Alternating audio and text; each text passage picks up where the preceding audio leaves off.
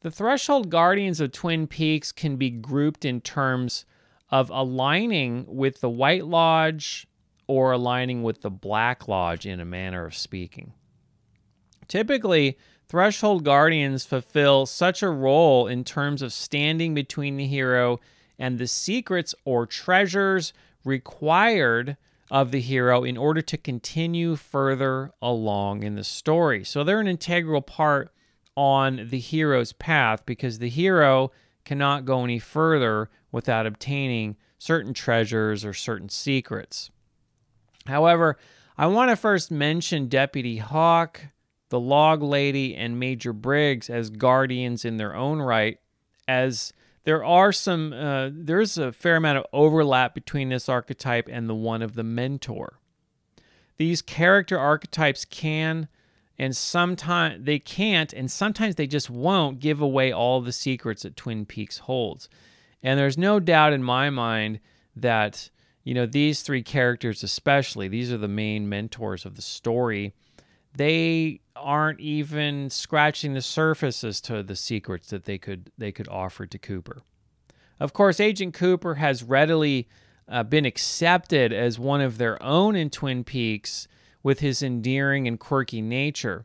However, these three characters, despite this, they fulfill this role as threshold guardians to outsiders as well as they are the guardians against the dark emanations from the forest. So they play a very important role in the story, of course.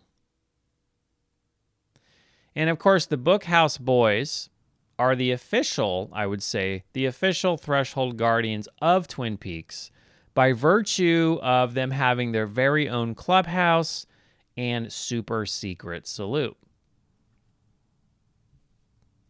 And the most prominent threshold guardians, at least where Agent Cooper is concerned, are primarily Laura's closest friends and her parents. I've included several spirit characters as well as they seem to know a lot about Laura and some of her friends, especially the lonely soul of Harold Smith. I've even included James in this group, despite the fact that he is pretty basically clueless about Laura's double life. Poor James. And finally, we arrive at the shapeshifter, which I often find the most interesting and complex character archetype of the bunch. This character archetype can be different things to different people. And just like the queen piece in a game of chess, the shapeshifter can move along all like just is like a chameleon that can move along just like all the others, taking on one or more traits of all of the other archetypes at will. The shapeshifter remains a mystery even to herself, confounding all understanding to everyone in her path, and at the very same time offering those in her presence something which is attractive and compelling, even if they cannot fully understand why. Of course, this character arch- archetype is not to be trusted, even though the hero may be strong and believe they are prepared. They often have no defense against the charms of the shapeshifter. Remember the scene in the Red Room where Laura kisses Agent Cooper? I don't know about you, but Coop seemed to be into it. Now, Laura Palmer, as the main shapeshifter in Twin Peaks, seems to have a fatalistic twin flame in the form of Bob, whom is also a shapeshifter, albeit far less developed as a character. I realize this isn't defined clearly enough in the show, but I get this strange sense that these two characters there's there's some sort of odd parallel in some way, even if I can't quite articulate why. They just seem to go together in a very strange way, and not in a good way. But um, I hope that kind of makes sense. I mean, I always got this vibe that the two of them have some sort of strange sort of parallel nature in some on some level. Now the shapeshifter's connection with animals and the realm of spirit is well understood.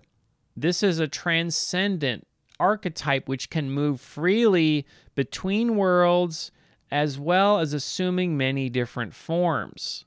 And, you know, Laura moved between worlds just like Bob did, so there's a lot of parallels there.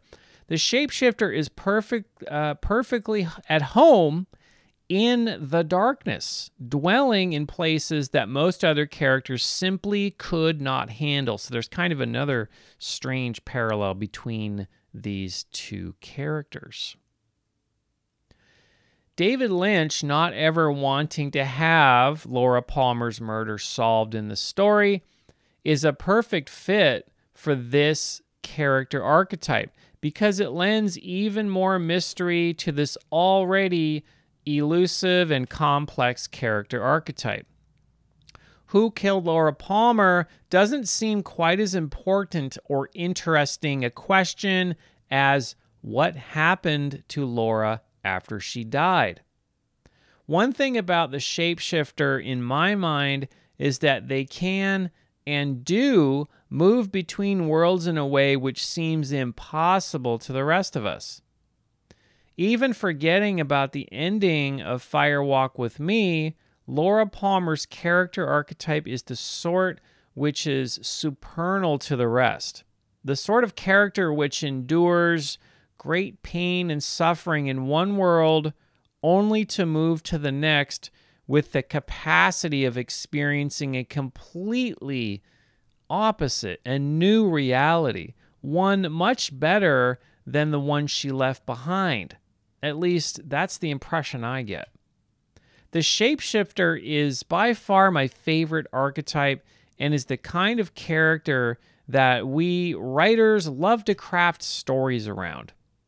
Well, I think that is all for this video series for now, but I expect to take a deep dive into the third season of Twin Peaks sometime in the future. And just to round this whole thing out, I want to say that to me, character archetypes in stories represent a certain ancient form of psychology which holds up a mirror to our own lives.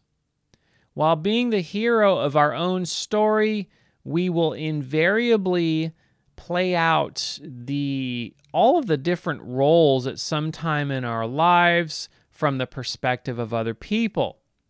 Sometimes we're the shadow, or sometimes we're the shapeshifter or the trickster, depending on the circumstances of who, and of course, uh, not only the circumstance, but who we are happen to be in front of. So to me, great stories like Twin Peaks are really wonderful reminders that this razor's edge we know is life can be both a blessing and a curse simultaneously.